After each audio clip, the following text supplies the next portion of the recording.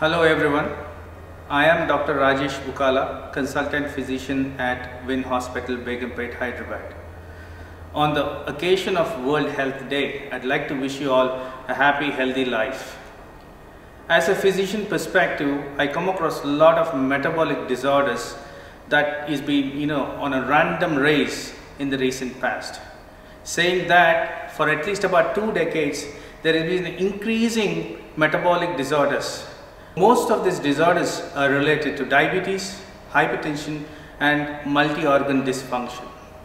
So on this occasion, I'd like to bring to your attention that please stay healthy, live healthy and this is going to help you in a long way maintaining your health. At VINN Hospital, we provide services like significant amount of health screening which is at a affordable price for everyone. And also there are specialist doctors on par with international level to help you out with all your demands and needs. Thank you so much.